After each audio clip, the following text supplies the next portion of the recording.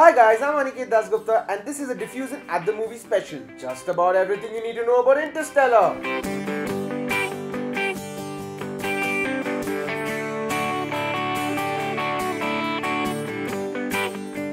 So here are 10 things that you need to know about Interstellar. Number 1. The Bootstrap Paradox. Now, the Bootstrap Paradox is a time travel paradox which is a little difficult for me to explain because I can't get my head around it as well.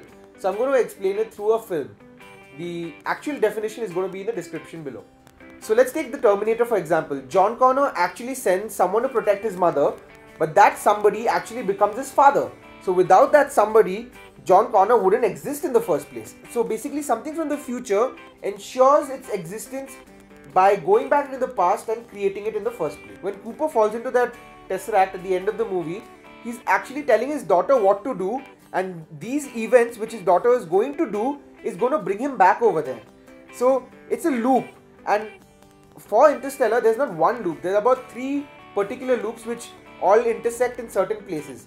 My friend Anand has made this flowchart which sort of explains all the interlinking between these three loops.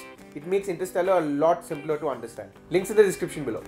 Number two, the unobvious references. If you happen to notice, in the starting of Interstellar, there's this whole montage of this documentary style footage about a few elderly people talking about the Dust Bowl. Apart from Murphy's interview in that, all the other interviews have been taken from a real film called The Dust Bowl by Ken Burns. This refers to a period of time in the 1930s when severe dust storms destroyed crops and hampered agriculture to a large extent, sort of foreshadowing what's going to happen in Interstellar itself. Uh, the other unobvious influence on this film is the film Grapes of Wrath, which sort of inspires the whole rural setting of the film. And then I also felt that there's a huge influence from Terrence Malick's films, uh, especially The Tree of Life. I mean, you can put The Tree of Life and Interstellar on the same page and they would sort of feed off each other. Number three, the bookshelf. If you notice closely, the bookshelf has a lot of books which you might think have been putting have been put in there arbitrarily, but that's not true.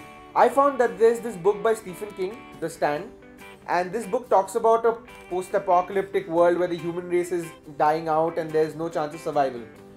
There's also another book on that bookshelf called Three Cups of Tea, which describes one man's journey through Pakistan and Afghanistan, where he's trying to educate uh, young women and children, and how he faces opposition and uh, institutional ignorance. Number four, the obvious influences. This film is filled with obvious influences. Remember the time in the movie when Cooper is explained the workings of a wormhole? Well, that's taken from the film Event Horizon. The exact same procedure using a pencil and paper and sticking the pencil through the paper. The astronaut suits in the film have been borrowed from the right stuff. They're almost the same. Then the spaceship designs themselves. The main spaceship design of Endurance is a clear reference to the spaceship design from 2001 A Space Odyssey. And the way the Ranger, the smaller spaceships are designed, are just like the Lambda spaceships from Star Wars. In fact, the cockpit is literally the same. There's also a nod to Matthew McConaughey's earlier film, Contact, where uh, Matthew McConaughey gives Matthew McConaughey's character gives Jodie Foster's character the watch. And in this film, it's Matthew McConaughey's character giving the same to another very important female character in the film, which makes the watch one of the most important things in the entire film. Its Contact was written by Carl Sagan, and the executive producer of Interstellar, that is Kip Thorne, also worked on Contact. So Matthew McConaughey is not just the only connection between the two films. There's also actually a smart nod to all the people who kept saying that this movie has something similar to the Planet of the Apes. When the Ranger crashes into the first planet with all the water, it sort of reminds you of the older Planet of the Apes movies. And if you hear closely, there's a reference to some sort of monkey business. Number 5. Tribute to the Explorers. Interstellar contains a lot of references to real world explorers and writers such as Sir Arthur Conan Doyle, who has a character named after him, and you find a bunch of books written by him here and there in the film. The main spaceship in Interstellar is named after Sir Ernest Shackleton's Antarctic exploration ship Endurance. Amelia Brand, Anne Hathaway, is named after Amelia Earhart, who is the first woman to cross the Atlantic Ocean on a plane. Edmund's uh, planet, which is basically named after the character Edmund, is named after Edmund Hillary, the first man to climb Mount Everest. Even Matt Damon's character Man is named after a real world uh, explorer by the name James Mann Wordie, who was on Ernest Shackleton's ship Endurance. Number 6. The artistic and architectural influences. When Cooper wakes up after falling into the wormhole, he wakes up into this space station which is all circular and it might remind you of Inception.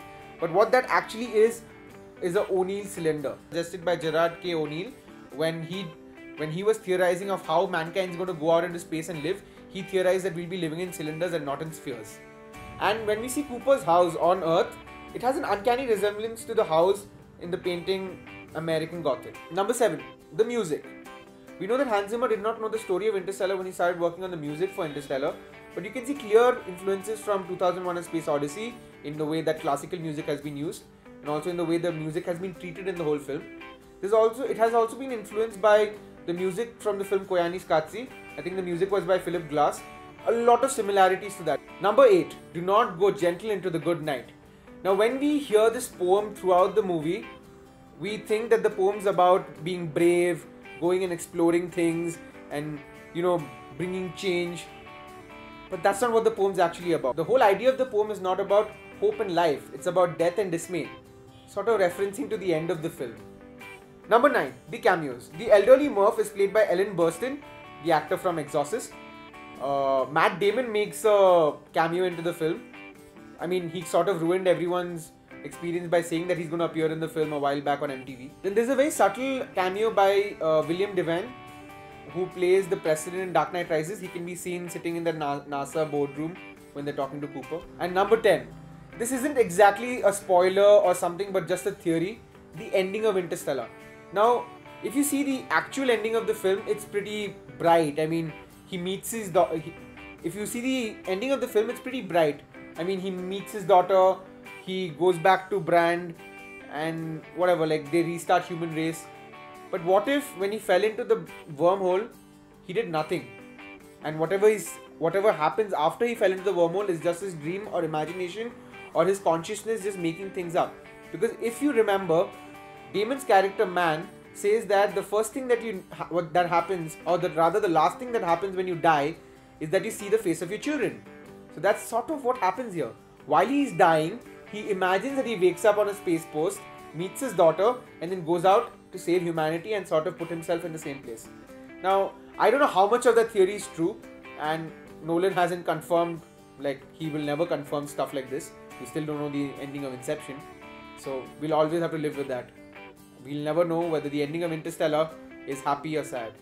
But it's sort of inching towards the sad right now. I have to watch this movie again. Those are the 10 things that we thought you should know about Interstellar. If we missed out on anything, you should totally leave it in the comments below. We'd love to know more. We are going to go out and watch the movie again, and so should you, because I'm sure there's a lot more Interstellar that we don't know about yet.